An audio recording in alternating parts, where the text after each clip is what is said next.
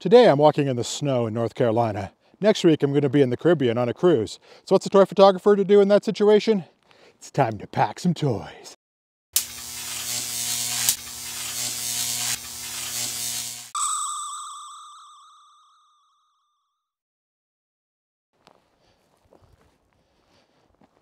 Hey folks, Dave here. Really, it's me. So when you go on a cruise, uh, there's a really big ship and a lot of things to do, but there's not a lot of living space. Normally when I travel, I bring a big bag full of action figures and all my equipment. So I have all the options available to me. So when I want to feel creative, I can be creative. Now on this trip, which is going to last a week, I also want to feel creative and be creative, but I don't have all the space to bring all the stuff I need to. So I need to pare all that down into just the things that will work for my particular situation. And my situation is that I'm going to be on a cruise ship for several days, so I have that environment to work with. But I'm also going to be on beaches and seeing wildlife, and hopefully I'll be going to uh, some Mayan ruins if all that works out. So I want to have my options work for me on those various levels. So what I've done over the past couple days is gone through my studio and grabbed all of the toys that kind of speak to me and started sitting down and really thinking through all of the options and kind of thinking about what inspires me and what grabs my attention. And I've been paring it down and coming up with a few options. So let's jump into how I did that.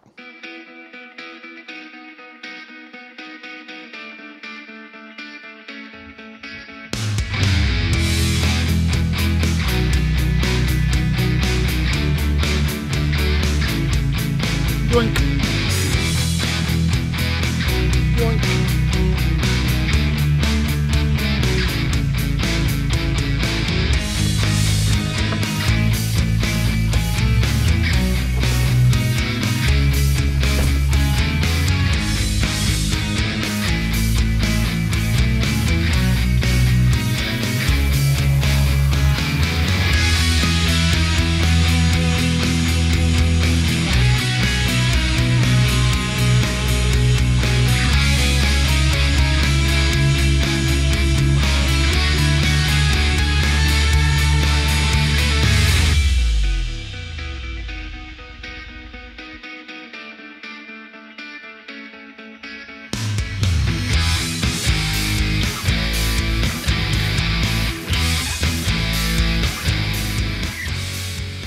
All right, I have a few options here, um, but let's talk about one that I actually am going to reject, and that was having a uh, like a lady figure um, in a swimsuit on the beach, sunning herself with somebody um, maybe holding a, a, umbrella over her head, uh, serving her some sort of cocktail.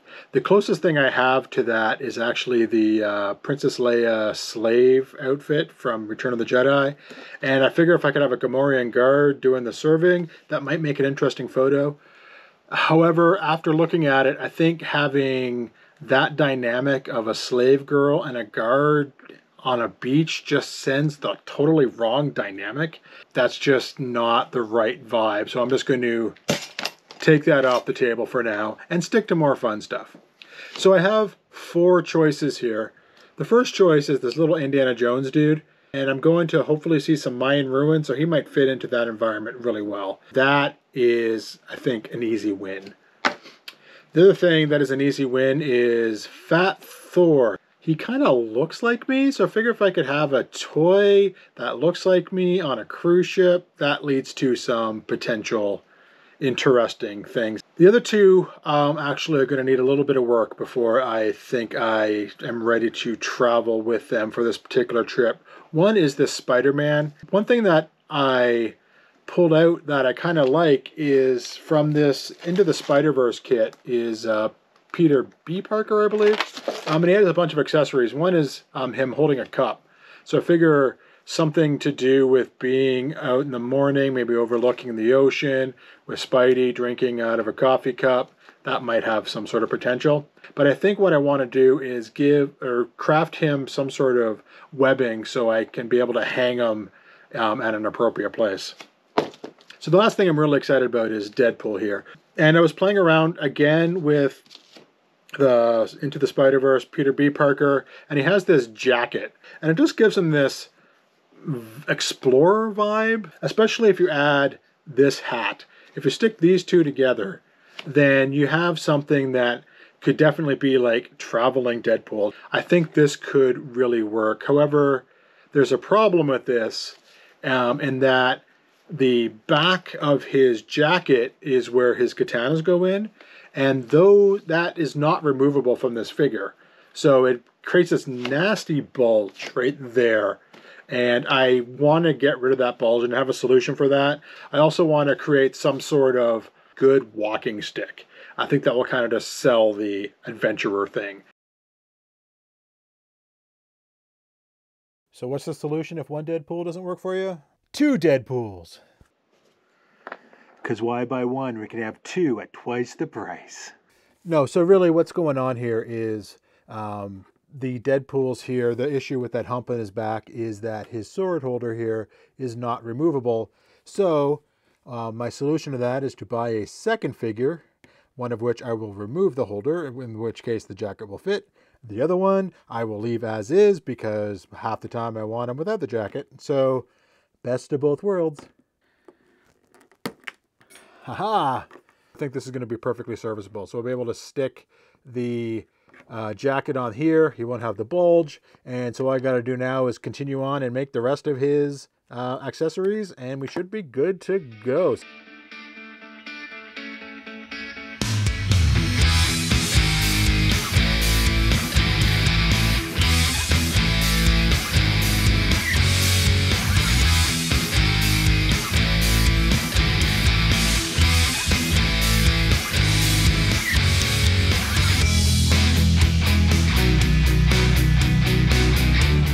So I finished Deadpool last night, and this morning I went for a walk, and I brought Deadpool with me, and I've been uh, walking up in the blue, beautiful uh, Blue Ridge uh, Mountains uh, near my house here in uh, sunny North Carolina. Um, ironically, it is snowing like crazy here, which for April in North Carolina is kind of unusual, but this Canadian boy is going to take it.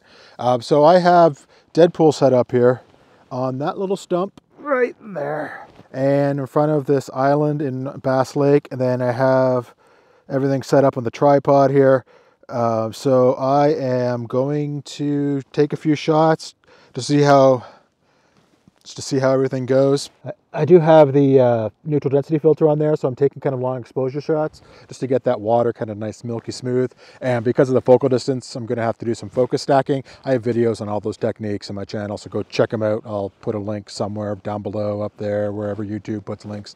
Um, but for now, I am gonna take a few shots of Deadpool here in situ, uh, and then get on hiking. So uh, yeah, I'll uh, show you the final uh, images uh, when I get home and process them.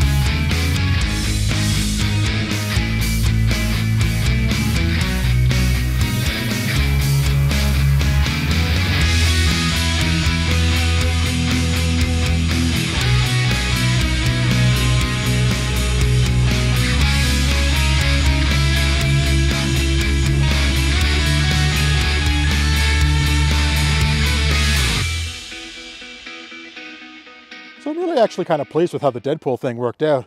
Um, I think it's going to work well in the situations that I'm going to find myself in. So I'm not really going to know for sure until I'm actually on the trip and using uh, that Deadpool figure where I think it will be used. But this test shot thing that I just did, I think kind of proves that it has merit. So I'm pretty comfortable that that is a great choice for me to have made. And if it doesn't work out, I still have the Spider-Man and the Fat Thor and that Indiana Jones as backup. Um, so I think I should be really good for this trip as far as stock photography is concerned. So I'm going to leave you here and I'm going to go finish my walk and then I will see you hopefully on a boat um, in the not too distant future. Cheers.